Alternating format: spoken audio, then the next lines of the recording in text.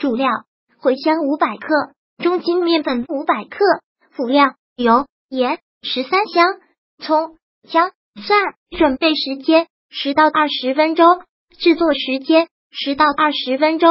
准备好面粉，面粉里加三十克食用油拌匀，取三分之一的面，开水烫面，其余的用凉水和面，然后和开水烫面一起和面光滑的面团。因为要薄皮，所以面要和的软一点。和好后静置十五分钟。瘦肉切成小块，放搅拌机搅成肉馅。我这可是肥瘦都有哦。茴香洗净切好，把肉馅分成两份。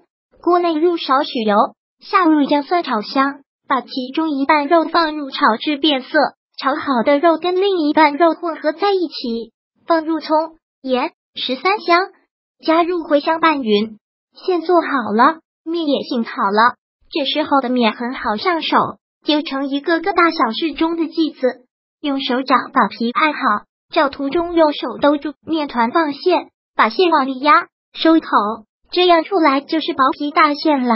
收好口后，用手在案板上按成饼状，即可下锅烙饼。我用的是电饼铛，两面差不多八分钟却可。烹饪技巧一：面粉里加入食用油和开水烫面，是为了让面团更加柔软。又好上手。二，把肉馅先炒一部分，是为了让最终的茴香馅不柴，吃起来嫩香可口。这也可以让茴香先就被拌上均匀的猪油。三，用十三香是为了提味，如果不喜欢，可以换成黄豆酱或是别的。四，茴香吸油，所以选肉的时候要选肥瘦都有的那种。